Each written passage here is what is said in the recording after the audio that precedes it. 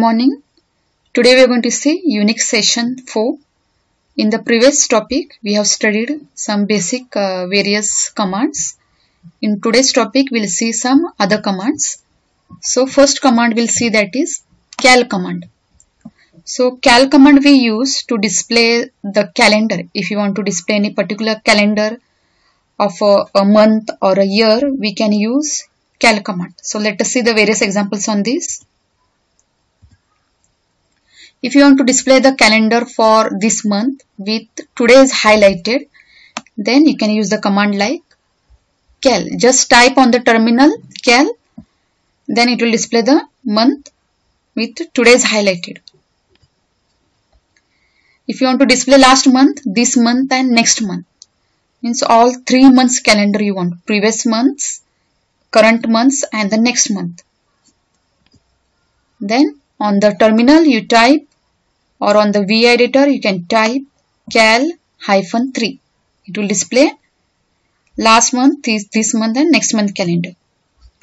If you want to display this year's entire calendar, huh, full calendar, not any particular month, full entire years, then you can type on the terminal like cal hyphen y. Next, if you want to display the entire year 2000 calendar, yes, if you want of particular years like example 2000 years you want the entire year's calendar. Then just type cal hyphen y and the year which you want to display the calendar. Next display the calendar for December of this month. Yes if you want only the December month calendar of current years. Then just type cal hyphen m and the month which you want to display. Next, if you want to display the calendar for December 2000 as if you want of particular year, okay, of previous years if you want, or if you want of uh, future years, then you're going to type here cal and of which month and of which year you're going to type here. So whichever year you want the calendar of particular month you just need to type using the cal command. It can be of previous years or the future years. So next command we'll see date command. So using date command we use it to display the date and time. So on the terminal you are going to just type date. It will display the date and time so date command can be used with various options in a various styles. So let us see how you can use how you, you can make use of this date command. So if you want to display date and time of two years ago, two years ago if you want the date and time, then how you are going to type? So on the terminal you are going to type date space. So in between there is a space here then double hyphen then date equal to in a double quotes two year ago you are going to type. And the output which you will get is like this. So this was the date and time two years ago. Okay and uh, it will show according to your system's date and time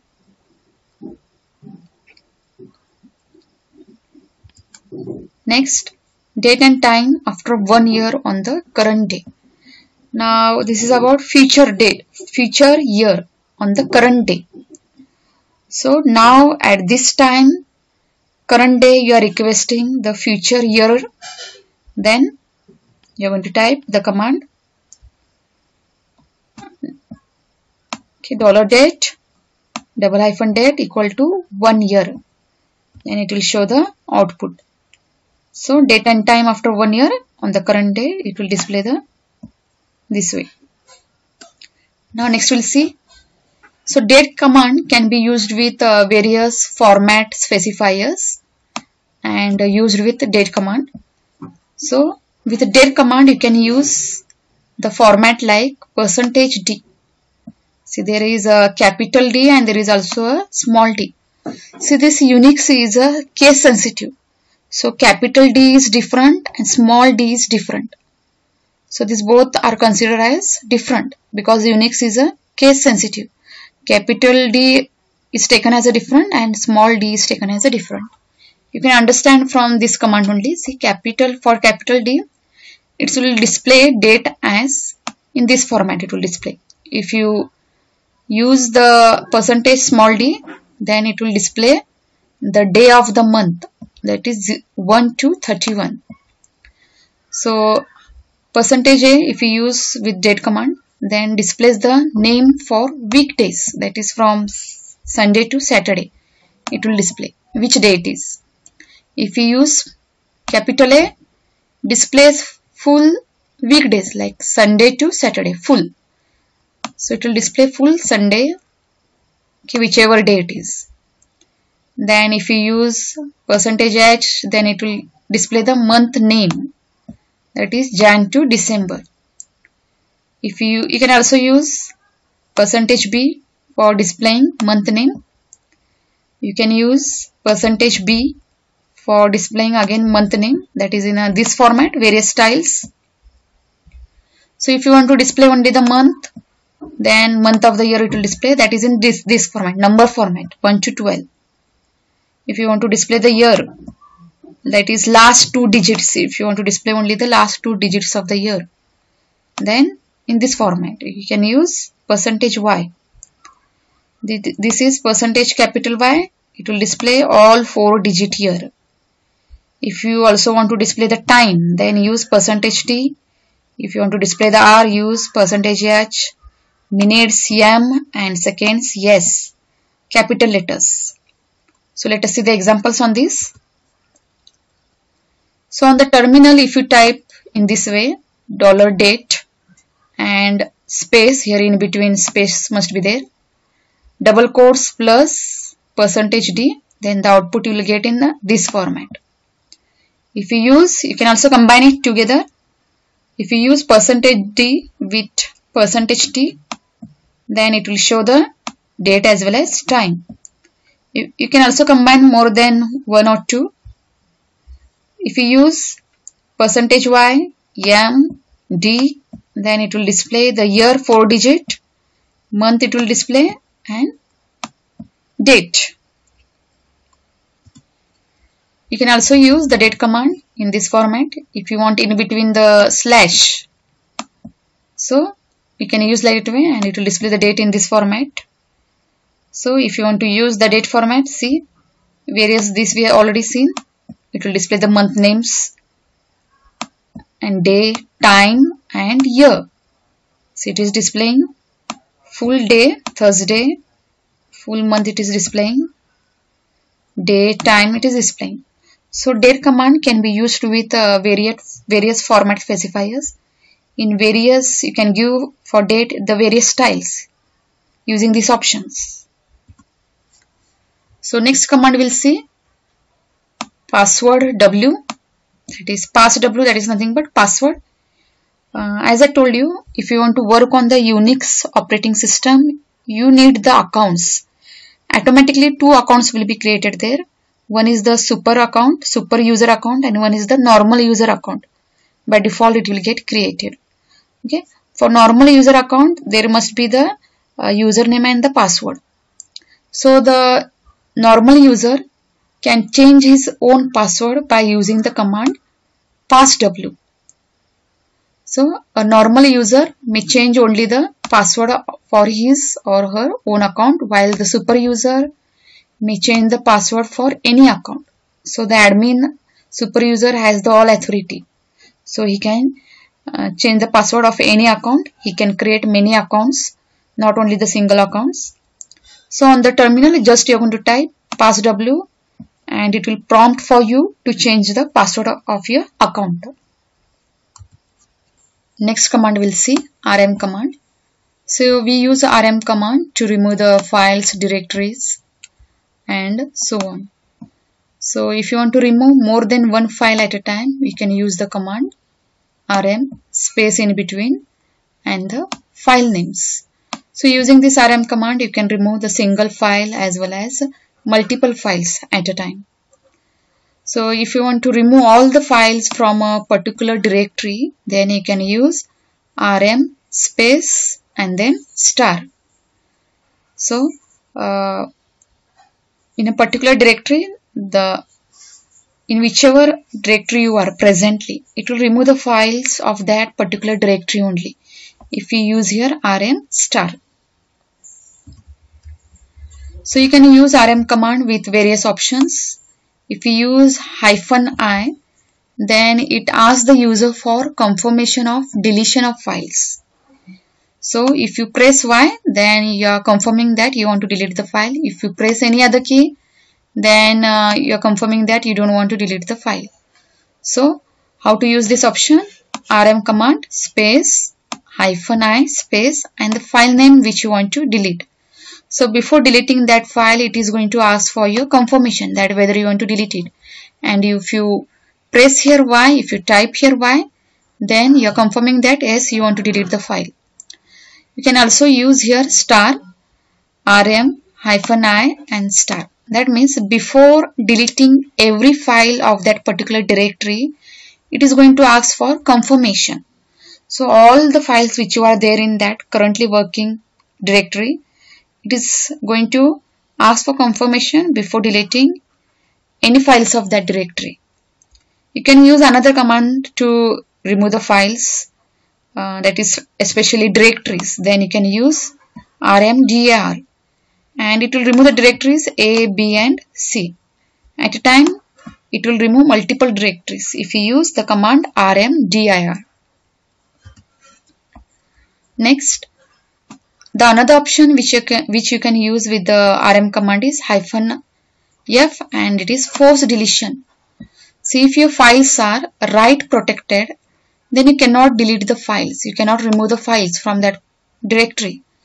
So if you want to remove that file uh, write protected files they can then you can use the option hyphen f. So see this example there is a file which you want to delete rm and e.txt. So this is a write protected file. So it will not allow you to delete the file. So it is asking you remove write protected regular for empty file. Then uh, so if you want to forcefully delete such files then in between you are going to use the option hyphen f. Then you can remove this file, you can delete this file. The next command we'll see is cp command that is copying contents of the files. So cp stands for copy.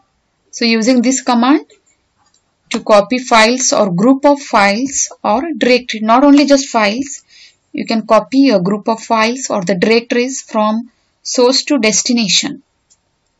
So the syntax which you use is type cp command and if you want to use the options you can use the options in between and which file you want to copy and for which destination. So you can also copy the file for a particular directory also. You can also copy the multiple files see here and to a particular directory. So these are the various syntax which you can use with cp command. So example is see cp space in between uh, this is source file and this is the destination file. So you are copying the contents of this file to another file. So whatever the contents was there in this file, it will erase everything and it will copy the new contents. Next option which you, can, which you can use with cp command is hyphen i that is interactive. So with this option, first warns the user before overwriting the destination file. As I told you, whenever you copy the contents of one file to another file, it will erase all the contents of that destination file. So it is going to warn you if you use the option hyphen i here with the cp command. You can see here. So the contents of A will be copied to B file and before copying it is going to ask you do you want to overwrite if you press here Y then it is going to overwrite. So if you want to see the contents of that B, B file, then just type cat command and you can see the contents of that B file. you can use cp command with another option that is hyphen r or hyphen capital R. So the contents of one directory will be copied to another directory. So you can see here command ls unix. Unix is one directory. You can also use the slash here. So whichever the files or the directories are available in that folder, it will show here. It is showing here. And uh, if we don't use the hyphen R option, what happens? See, you're copying the contents of one directory into another directory. So Unix is one directory and Linux is also one directory and you're trying to copy the contents of one directory to another directory then it gives such errors. So if you don't want such errors then use the hyphen R in between here. So if you use the hyphen R in between you can copy the contents of one directory to another directory. So if you want to see the contents of this Linux directory just type ls and linux slash so you can see here all the contents of Unix directory are copied to now Linux directory. So another example initial folder 1 is empty. Now folder 1 is one directory and it is empty. So if you type here ls command you can see these are the files and directories and folder 1 is here empty. So what are you doing? You are copying all text files to folder 1 so star.txt means you want to copy all the text files to folder 1. So if you want to see whether it is copied or no, just type here ls and the folder 1. You can see the all txt files are copied to folder 1. So this is how you can use cp command with various options for copying the contents of one file to another file or from one directory to another directory or files to directory. Next command we'll see mv command. It stands for move command. So this is very similar to the copy command only. But what it will do, the difference is that uh, whichever the contents you are moving from one file to another file, that previous file will get deleted automatically. So it is like a cut and paste. So it will cut the file, that is it will delete the file and it will paste the contents into a new file. We can also call it as a rename a file or a folder. You can also rename a file or the folder. So it moves group of files to a different directory. So it acts like a cut and paste. It acts like a rename a file, moving a file. So how you are going to use it? So the command and the various option you can use, the source file and the destination file which you want to move. So see this example, if you type here ls, the various files are available in that particular directory. So using the mv command, so you are moving the contents of a file to shell2 file. So, so this a file will get deleted and all the contents will be moved to this file. So when you type the ls command and you can check, see the al file is not available here. So it will get deleted. So the various options which you can use with this uh, move command that is hyphen i that is before before moving the file from source to destination it is going to ask for your confirmation. That is by pressing y. The next option which you can use with uh, a mv command is hyphen f. That is if your file is write protected then it is going to ask for confirmation. So if you use hyphen f then forcefully it is going to delete that file Another option which you can use with me command is hyphen b that is backup. So with this option it is easier to take a backup of an existing file. So the source file which you are moving to another file so it will keep backup of that source file before deleting. So how it will keep the backup you can see the character here the tilde character so it will get appended before that file after that file see the various example? So these are the contents of shell script file. That is in there is a present in that file. These are the contents of b.txt these are the contents. So you are moving the contents of shell script to the file b.txt and before moving it is going to ask for confirmation. Are you sure you want to move? If you press your y it is going to move the contents of shell script file to b and when you check out using the ls command you can see the shell script file is not available here. All the contents it has moved to the b.txt it is like a cut and paste. So if you see the contents of b.txt in there is available which was uh, present in this shell script dot file. It is now present in b.txt so you can also move the directories from one directory to another directory. You can see here. You can also specify here the full path or you can just specify here the directory name. And see shell3 is the directory file. It can be the directory of the file. Will be moved to the r2 directory. You can see here. You can see here the r2 directory. It is going to prompt because if you have used here hyphen i before overwriting it is going to prompt for confirmation. So next you see ls there are the files available here. So you are use here hyphen b in between. So it is going to move all the contents of shell script to b. If you want to keep the backup you can check out it using the ls command. You can see here. You can see here the backup file marked with till option. So in the today's session we have studied the various command in the next section we'll see more commands. Thank you